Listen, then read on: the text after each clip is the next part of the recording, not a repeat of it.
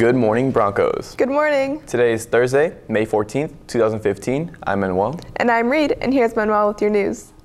Prom is Saturday. Have you, per- have you purchased your tickets? You must purchase your tickets beforehand. No tickets will be sold at the door. Also, don't forget check-in will run from 7 to 8:15 p.m. After 8:15 p.m., the doors will be shut, so don't be too fashionably late and miss check-in. Calling all runners of all abilities. There will be a short cross-country meeting Monday, May 18th at 2:50 p.m. in Wet Lab 7. Questions? See Coach Carmen in Region D. The Parkrose High School Blood Drive is today. Make sure you check in with the student representative to get your blood donation reminder card. See Mr. Hume if you have any further questions. Prom anyone?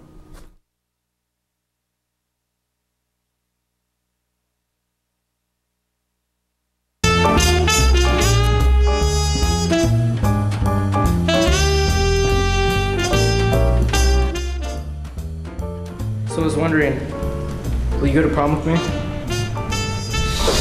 Yeah, I'm gonna have to go with no. Tempting, thanks.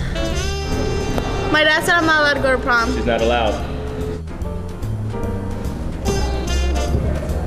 No. No, I don't dance. So will you go to prom with me? No. No, I'm not allowed to date.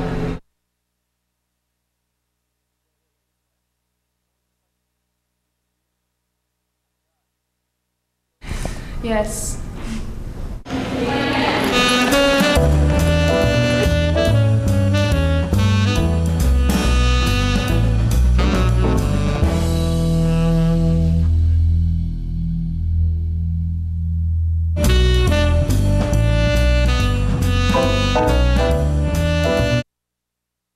Prom is an amazing experience, and I think all of you guys should go. Of course, we're going. We're seniors. So you can get your groove on, do your dance thing. It ain't Yeah. even about this prom, it's just about dancing. That's really what it's about.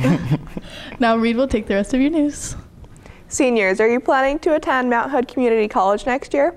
Parkrose will be hosting the MHCC placement test on Thursday, May 28th.